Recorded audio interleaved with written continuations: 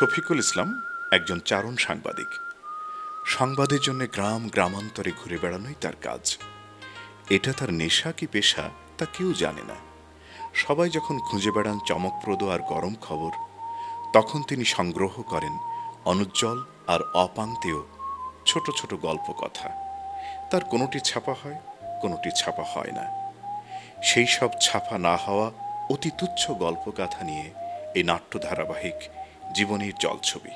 এক টাকা দুই টাকা করে তো নক্ষ নক্ষ কোটি কোটি টাকা হয়। দারুণ কথা বলেছেন তো আপনি। আপনার কথাটা শুনে একটা ঘটনার কথা মনে পড়ে গেল। কি ঘটনা হয়েছেন এই বছর দুয়েক আগে কুড়িগ্রাম গিয়েছিলাম। তখন মঙ্গার সময়।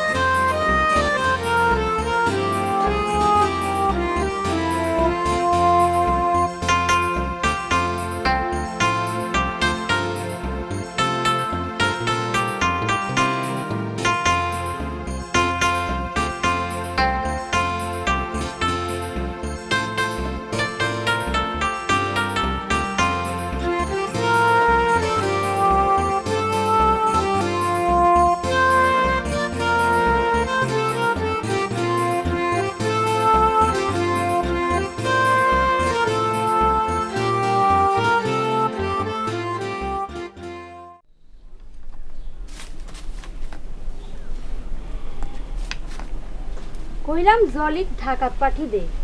আমার চাচাতো ভাইয়ের বাসা সুখে থাকবে। ও মা না দেমাগ দেখাই চইলে গেনু। এখন আবার নাকে কাঁদছিস কে রে জলির মা? রাগ করেন না ভাবি। উঠতি বয়সের মেয়ে পরান মান না যে। পেটত পাথর বাঁধি কয়দিন চলছি। আর তো পারি না। অন্তত শের খানিক চাল দেন। ধান উঠলি সুদ দিয়ে দেব। এমন করে কথা কহিস যেন তোর স্বামীর একর একর জমি আছে। মঙ্গার দিনে ফকিরানিও ভিক্ষা পায় না। মই কি করে পামো? মই যাও।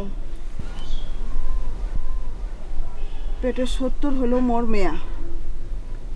ওই সত্তর জন্য তোমার দুয়ারে তাইছিল জন্মের সময় মুখত নুন দিলে আজ একটা পেটের চিন্তা আমাক কম হইতো।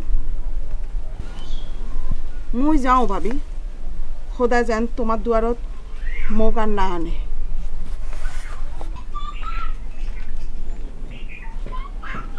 তোমার তেরেলাও সব ঝরে নাই। আরও ঝরু মেয়াক ঝিগিরি করতে পাটাও কিনা দেখি।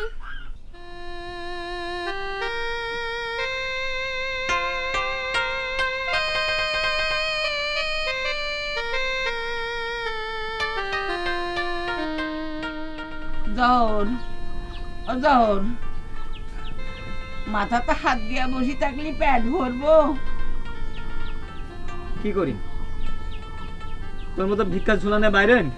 মঙ্গার দিনে তোর ফকিরনি মায়ও ভিক্ষা পায় না। তার উপর এই ঠ্যাং দুটো অচল হয়ে বিছানা নিছ। জহর। জহর রে দাঁড় গরম করে হইলেও আমার এক মুঠ গরম ভাত খাওয়া বাবা। এই মঙ্গার দিনে কায় হামাক ধার খরচ দিবে? ওই হারামজাদিরা কোনে গেছে? তোর বউ ওই মেম্বার বাড়িতে গিয়া পড়িয়া থাকে। সারাদিন কাম কাজ করিয়া দুইটা একটা যা পায় তাই দিয়াই নিজের পেট ভরায়। জলি কটে গেছে? তোর তোর বেটি শিয়ান হয়ে গেছে বাবা এই ফকিরনি দাদির সাথে ভিক্ষায় যাইতে চায় না। মায়ের সাথে মেম্বার বাড়িতে কাম করতে তার মান যায়। এই চিংড়িটা এই দিনে রাইতে বাড়ির বাইরে কোটে কোটে করে আল্লাহ জানে। হ, বুঝছ ভাত দিতে না পারলে কাউ থাকবে না। এভিটা উজাড় হয়ে যাবে। যাই। মুয়ে চলে যাই। গ্রামের আফাজরা কাম খুঁজার লাগে বিদেশ যাইবে নাকছে। কোনো মতে গাড়ি ভাড়াটা জোগাড় করতে পারলে মুইও চলে যাই।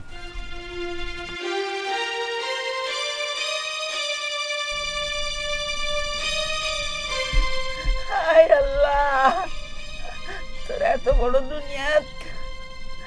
আমার লাগে দুইটা রিজিক যদি নাই লিখেতন তাহলে কেনে বাঁচায় রাখছে নালায়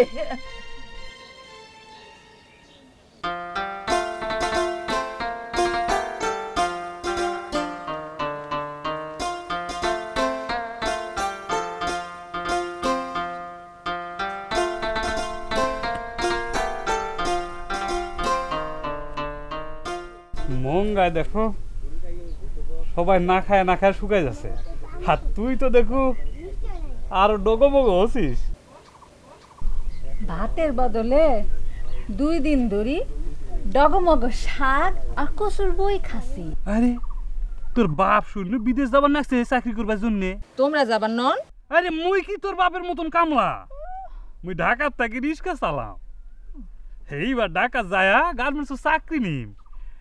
যাব মোর সাথে। মুই কি তো ঘরের বউ নাকছি যে মোক সাথে নিবার চান? আরে এটি থাকলে ওই ফকরেন দাদির মতন না খায় আমার বউ। ঢাকাত গেয়া গার্মেন্টস চাকরি নেমো। মাস গেলে বেতন পাবো তিন বেলা খাওয়া পাবো। মাঝে মধ্যে সিনেমা দেখমো। যাব। ঢাকাত কি বিয়া করবেন? লাইক চিংড়ির অভাব লাগছে? আরে ঢাকাত নিয়ে যায় তোকে তো বিয়া করমু। দুইজন মিলে সুখে সংসার করমু। যাবু। মঙ্গায় আমার পেটত ভাত নাই আর ওমাক লাগছে বিয়া করবার শখ। বাগেন নইলে আব্বাক ডাকিম। আব্বা ও আব্বা!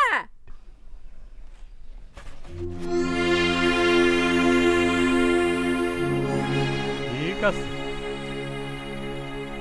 তোর ভাত আর হওয়ার আগে তোর ভাতের ব্যবস্থা কর। ও আব্বা তোমরা চলে গেলে আমরা খামো কি? চাইল গম জোগাড় করব কণ্ঠে?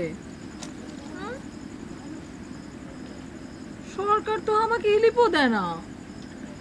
গ্রামে থাকিয়াও তোর মুখত এক মুঠো খাবার তুলে দেওয়ার শক্তি নাই রে মা। তালি পরে তোমার সাথে মোকও নিয়ে যাও। শুনিছি ঢাকা বেটি চাউলরা গার্মেন্টসে কাম করি নাইলে পরে ঘর বাড়িত কাম করি ও মেলা পয়সা কামায়। গার্মেন্টসের চাকরি লোভে আইজুর দিনে বেটি ঢাকা গেছি। কোনো খোঁজ খবর নাই। হারামজাদি তুইও সে পথে যাইবার চাস? বউ বেটিক আমি আল্লাহর হাতে সঁপে দিয়ে গেল এবার কাম থেকে আসি আমার বেটিক বিয়া দিম। ও ধরে এই মঙ্গা বুঝি পাড়াই দিতে পারুম না মুই। ও বাপ, আয়, কাছে আয়। আয় তোর মুখ কান ভালো করে দেখি। আয়। তো আল্লাহ বাসাইবে মা। দোয়া করিস।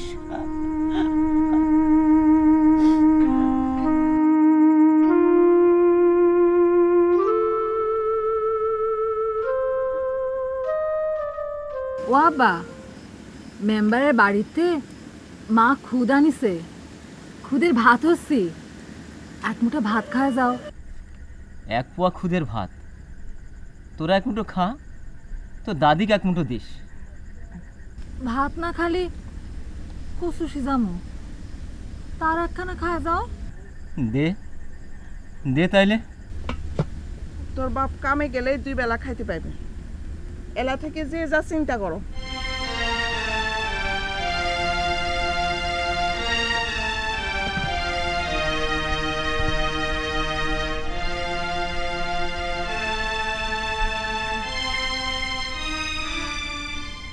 ভালো কামে যাই। কান্দিস কেন? এলা, রওনা করি বেলাই রাত্রে রেল স্টেশনে থাকিম, বিহানে চলে যাই কি মঙ্গার এই মাস দেড়েক একটু পার কর, আবার আমরা পেট ভরে খাই। মুই তাড়াতাড়ি ফিরে আসি।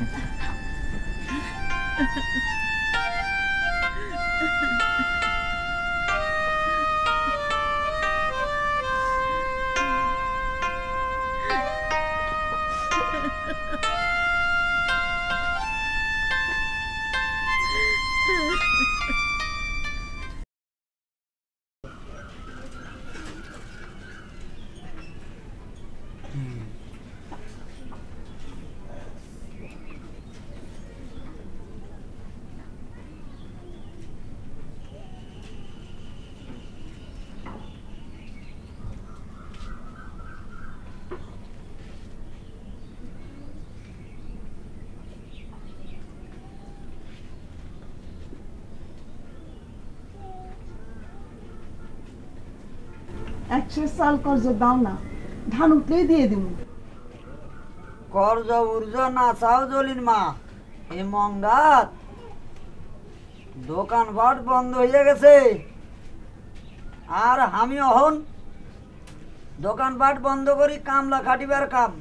মাথা হইয়া হট। এখন যাও। বৈশা কে? যাও।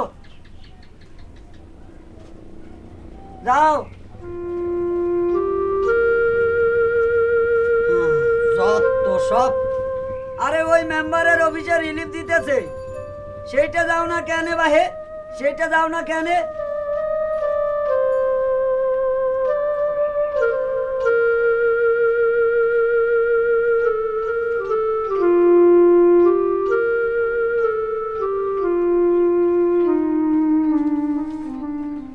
শান্তি শান্তি বাসা গেল। জলি কোটে গেল রে হারাম দাদিটা কি হয়েছে মা? শ্রীকৃষ্ণকে? বোর্ড অফিসত নাকি আজ ইলিপে গম দিবে। তোর দাদি ধরে না যেত বুড়ি হাঁটিবার পারে না। ওক মই ঘাড়ত করে ধরে যাইম। তার বদলে তুই জানা মা। হয়। ফকিরানির সাথে তোমরা বাড়িতে হা মিলে বসে থাকো। ইলিপ পাইলে মুই সগাই নিজের পেটে ঢুকাইম। হ।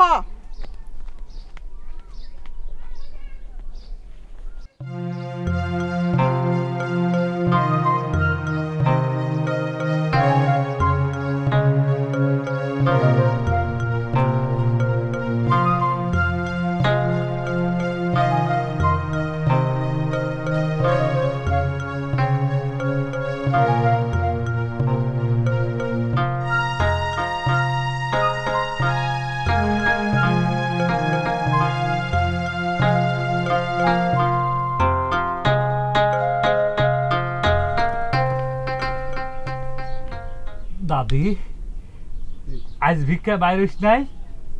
ঠ্যাং দুইখান গেইল শরীর আর কুলায় না রে ভাই। আজও সারাদিন পেটর দানা পানি ঢোকে নাই। তোর নাতনিটা কই? মাই দিয়ে সারাদিন কোটে কোটে ঘুরে বেড়ায়। মোর খোঁজ কে লয় না। তোর নাতনিটা এত সুন্দর হয়েছে কেন দাদি? এই মঙ্গার দিনও তো রূপ খালি ঝলমল আছে। মোক এক নাম সাথে ভাব করাই দে না। টেকা দিন মেলা টেকা দিন। এই। দশ টাকা। আরে বাড়িতে আসিয়া এরকম লোক পাবো? ভিক্ষা দিয়া যায়? পাবো নাই নে, মোক ভাব করাই দিস দাদি মুই গেন।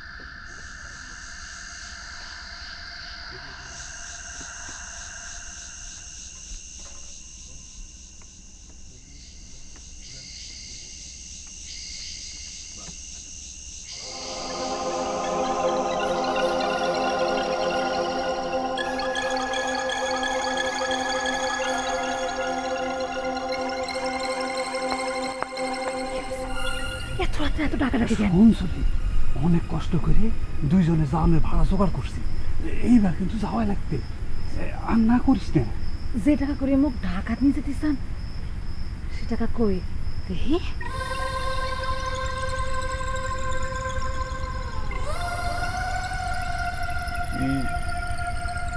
বিশ্বাস হয়? এ টাকা মোক কর্জ দিয়ে যান এ টাকা দিয়ে কদিনের খোরাকে জোগাড় করব করো কি করো কি? অঞ্জলি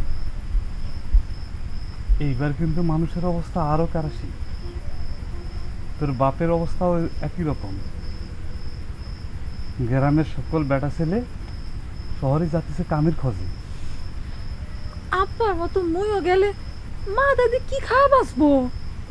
তোর দাদিক তো দিছি। তোর মাক না হয় যাওয়ার আগে দুই চার কেজি চাল কিনে পয়সা দিয়ে মনে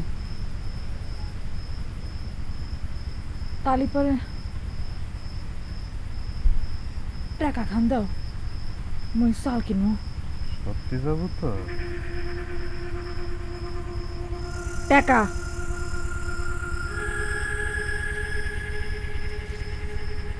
শুনো মা কিন্তু কিছু কোয়া যাবে না। মা শুনলি পর তোমার সাথে মামু যাতে দেবো না। কার পক্ষেও জানতে না। তুই কাল যাইতো জঙ্গলে ধারে আসব মুই নিয়ে যান। ঠিক আছে?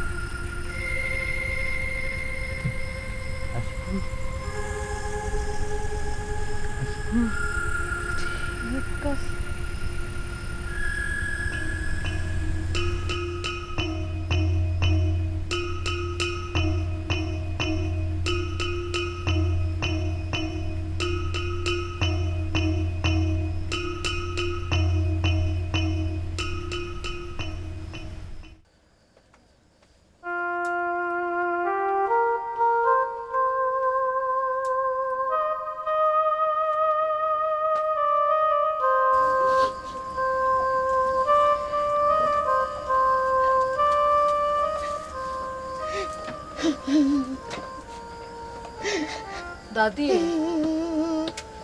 ও দাদি। কান্তা সুখে? মুখের মধ্যে খা খা করতেছে রে। আরে। কান্দো না।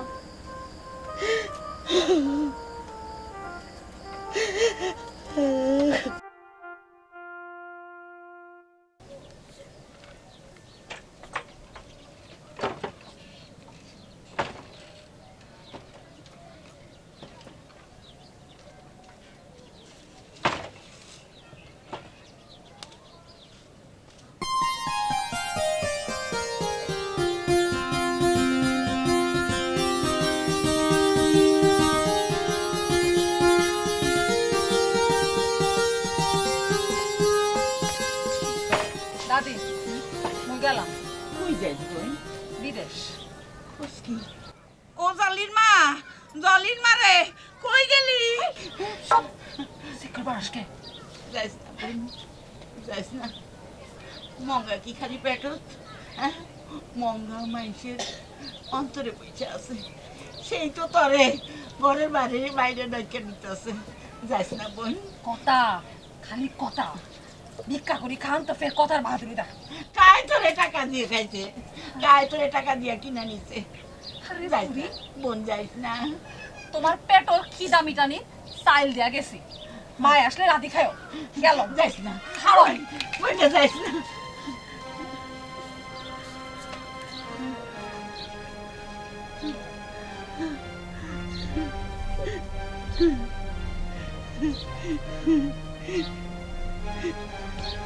কতদিন? কতদিন গোটা গোটা দানা দানা চাল দেখি না। তো চাই না। এ তো সোনার দানা। জলি জলি রে বই আমি তোর সোনার দানা।